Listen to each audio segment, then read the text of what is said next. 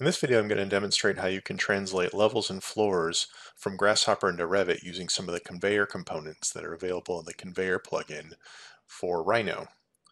In this particular setup, you can see that I have a Grasshopper definition that is defining a series of surfaces that are representative of floors in a tower. Uh, these graph mapper nodes are allowing me to adjust the kind of overall size and configuration of these surface floors. And so I have some level of parametric control over this definition. And the resultant output here is a series of surfaces. And these surfaces are uh, boundary surfaces that are defined using uh, this final component here. I'm also defining a series of level names, and this is using some rather conventional methods, using the format component to format GH level, um, then I'm numbering every levels 1 through 33 in this case. So what I want to do is be able to take these surfaces and this information about level datums and translate it over into the Revit environment. And also using Grasshopper, update those floors um, parametrically and see those updates occur uh, in the Revit environment as well using Conveyor. So what I'm going to do is I'm going to go to the Proving Ground tab to start. And the node that I'm going to end up with at the very end of my definition is a node called write conveyor file. And this file is going to essentially be a Rhino 3DM file that will have been created from this definition that contains my levels and floor objects.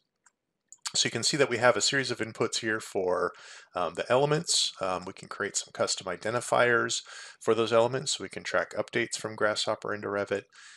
Uh, we're going to specify a file path to save the Rhino 3DM file out of Grasshopper, and then we're going to have a toggle that will allow us to update that file uh, with different changes. So I'm going to start from my geometry outputs here from my Grasshopper definition and work my way towards writing that file. Um, the first type of object I'm going to create is going to be a level object. So if I go to the Proving Ground tab again and find under Conveyor, you'll see that I have a conveyor level object that I can create. Um, so a, a level, um, as we will have uh, defined it here in Grasshopper, uh, is analogous to the Revit level. And what we need for a Revit level is the name of the level, um, as well as the planar datum defining where that level is situated. So you can see that we already have a series of level names being defined here in this definition. Um, I'm simply going to pass that text object in for the name. And it's asking me also for a plane. Um, and a plane is going to be the uh, establishing the kind of elevation of where this level is going to be situated in space. So I'm going to go ahead and pass this um, plane in to that input. And you can see after I put that into the plane input, the, the node becomes active and is now generating a set of conveyor level objects. If I kind of zoom in to the Rhino portion of this definition, the preview, it can see that I'm generating a series of levels and I'm naming them GH underscore level 28. Then the name can be really anything. I'm calling it GH just so in this demo you can kind of understand that this is coming from Grasshopper.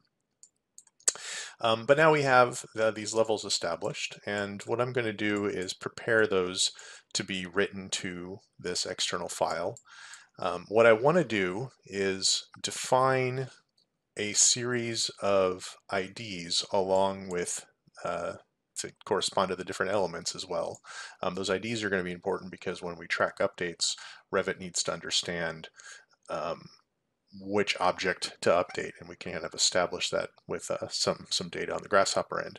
And so to do that, I'm just going to go ahead and create a format node as such, and I'm going to pass in um, a component here to format that text, so I need to you know, bring out a panel component. And maybe what I'll do is I'll call this um, GH level ID um, which can be, you know, it's any kind of text. I'm just kind of defining my own unique um, prefix there. And I'm going to uh, enter in this uh, open bracket zero uh, close bracket, which will refer to some data list that I'm going to feed in to, to format my, my text. Um, so I'm going to go ahead and take that, and I'm going to connect that into the formatting. So that's my formatting formula, like so. And what I now need is maybe a list of numbers that corresponds to my list of levels here. So I'm going to go ahead and get a list length. It's at the top. And I then am going to generate a series of numbers corresponding to that length. So we're getting 0 through 32 in this case. I'm going to pass that into 0. And I will now have formatted a set of IDs. If I hover over the T output here, you can see that we have uh, GH level ID 0 through GH level ID 32, which will kind of serve as our identifiers. Um, this, these can be really be anything, any kind of format that you want to come up with, just so long as there is some persistence uh, to how they're being uh, named when you start performing updates. Um, I am now going to define my floor surfaces. So to do that, I need to go to my Proving Ground tab. Under Conveyor, you'll see that we have what's called a conveyor floor. I'm going to put that on my screen as well, and I'm going to pass in this geometry into the uh, geometry input there. So this is the planar surface. And what we have here is also a level input or layer input, I'm sorry. Uh, the layer input is going to correspond to a particular floor type. Um, you can see that I've already populated my Rhino file here with some um, information here. So I'm just actually going to pull directly from these levels. Um, you can obviously always type these in manually as well, um, but I'm simply going to be selecting this name, floor, um, colon generic dash 12 inch, uh, which is going to be the floor type I want to assign. I'm going to hit a control C there, and then I'm going to pull out another panel component and enter that in as such. And I'm going to push that into the layer input. So now we have a floor type defined corresponding to the um, uh, surfaces and the uh, levels there. I'm going to turn off the preview of this one, so a little more clear. We don't have overlapping geometry in our screen. And what I'm going to do is, uh, sim similarly to, to how I did this with levels, I'm going to also create a set of IDs for my floors. So I'm just going to copy and paste that node sequence down, and I'm going to edit the format. So instead of GH level ID, this is GH floor ID um, as such. So now I have two uh, sets of IDs. Um, I have two object types, one being level, one being floor. And now I need to start feeding that into our conveyor write component. Um, so easy way to start doing this um, is I'm just going to simply start creating some merged data. First I'm going to merge in my levels as D1, then my floor geometry as D2, and we don't need D3 there. And what we're going to see if I hover over here is that we do have some data trees in play. Uh, in this case, we don't want to have data trees going into this component because it's going to cause it to write out um, the file twice and, and overwrite some information. So this component is really expecting flattened lists of information. So I'm going to go ahead and flatten that um, and insert that into the element input. And I'm going to have a similar set of merge components for my text objects, or, or my, yes, my IDs that, that refer to text um, elements that will be ultimately assigned to these elements. So I'm going to go ahead and pass in my GH level ID there, um, and I'm going to pass in my GH floor IDs into D2. So now we have a matching corresponding list of geometry and some identifiers that will track uh, those elements. So now that I have those situated, I now need to specify a file path. So I'm going to go here and uh, go to the params tab and then find my file path component. And I'm going to right click and do a set new file location. And you can see that I have a, couple of files there already. I'm going to call this demo levels floors dot 3dm like so pass that into path. And then finally, um, I need to create a write toggle. So this can either be a button component or it can be a Boolean toggle component. Um, in this case, I'm just going to go ahead and use the Boolean toggle component, uh, which would allow me to kind of have some some level of live interaction uh, with the kind of parametric updating. I'm going to go ahead and insert that and my component will become active. And in order for me to write the file now, I need to set this toggle to true. What this is now doing is it's authoring a, a Rhino file from this grasshopper definition that contains these elements. It's containing a set of levels and it's containing a set of floors. So now what I can do is I can jump over into Revit and I'm going to activate the Rhino conveyor command, which will give us access to the conveyor toolbar. And I'm going to go ahead and find and select those demo level floors here and click open. And that's going to populate an element table here that shows that we have a series of levels available to import and a series of floors available to import. Um, I'm going to go to my 3D views so we can start to see these objects populate. Zoom out a little bit because this is a tall tower and I'm going to go ahead and load them in. And so what this is doing now is it's reaching into that file, it is um, finding my levels, and then it is uh, creating those levels and it's creating the floors. And what we end up with out of this process are a series of floors that are properly associated to each level. Um, these are native Revit floors. If I double click on them, you can see I have access to those boundaries. Um, and it's uh, you know generated from that grasshopper based data. So then the question usually is, is what happens if we perform an update in Grasshopper? Will this register that particular update and allow me to update these floors? And the answer to that question, of course, is yes.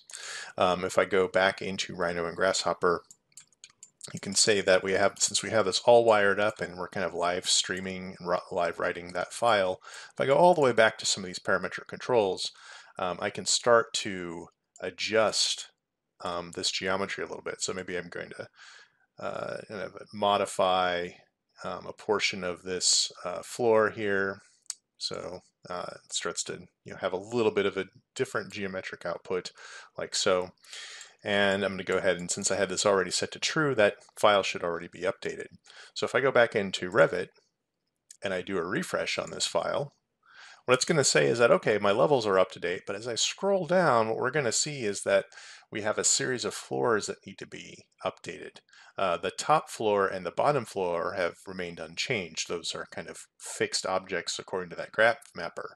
But the rest of these floors have in, in, in fact been updated to a new condition. And we can even start to see a preview of that. If I hit preview, what that's going to do is it's going to draw in some ghosted geometry uh, to show what that change actually looked like from the pre to, from the current state that's in Revit to the previous state. So a nice little feature there to preview some changes before you um, inject them into Revit. I'm going to clear that preview, and then I'm going to reload my floor objects. And it's going to take the floors uh, that had been updated and essentially recreate them. So now we have an updated set of floors uh, inside of Revit. Um, so another interesting thing about this in terms of like, you know, we're dealing with a parametric workflow now between Grasshopper uh, and Revit using the conveyor toolset. Um, we can start to do some interesting things with schedules, of course. Um, sometimes you want to understand the nature of a, of a, parametric change and kind of start to track these things in a more um, uh, deliberate way. So I'm just go ahead and create a new schedule in quantities here. And I'm going to make this a floor schedule. I'm going to find floors. And what I want to do here is, you know, first identify the, you know, uh, type of floor. So I'm going to go ahead and pass that in over there. I'm then going to find some of this Rhino identification information. So we can see that we have a series of, of objects here. We can see when the last update occurred. So I'm going to go ahead and pull that over so we can start to see uh, changes in the timestamp for these different updates. Um, I'm also going to pull in the file path and I'm also going to pull in my custom ID. So the custom ID that we're defining here is actually that Grasshopper based identifier uh, that's kind of allowing us to you know, track uh, if an object is originating from that particular Grasshopper definition. Um, so I'm going to go ahead and hit OK on that. And this is going to create an itemized uh, list of, of, of information that's allowing me to track uh, the different floors in my model. Um, we can see the last time they were updated, we can see the file path they came from, and we can see that custom ID. Um, so what I might do is even just pull this out as a separate window here. And I'm going to jump back into Rhino and Grasshopper, and I'm going to perform another update on this. Um, so uh, one, to kind of just demonstrate the, the nature of this toggle, if I hit this false, um, that's not going to write a Rhino file, so I can always you know ensure that you know maybe I'm making a more deliberate decision after I adjust my model to um, write the file. But so in this, that's what I'm doing in this case. I've turned that off, and now I can uh, modify my geometry here. Then if I want to make sure that this is writing to the file, I need to make sure that's set back to true. Um, that is sometimes more convenient if you're updating a lot of geometry. If you have this set always true, that there can be a bit of a delay or a lag in your update. Um, so sometimes you might want to turn that on or off. Um, but now I'm going to go back into Revit. And you can see that we have to refresh our model there, and that's going to give us some updated uh, information. These are being flagged as being changed. And you know, if I want to just go through that step again, just kind of see the, the update change there. You can see the new uh, floor boundary locations. Go ahead and clear that preview again. Um, so let's pay attention to both the geometry over here, let's also pay attention to the time stamping that's happening in this schedule. Um, go ahead and run that.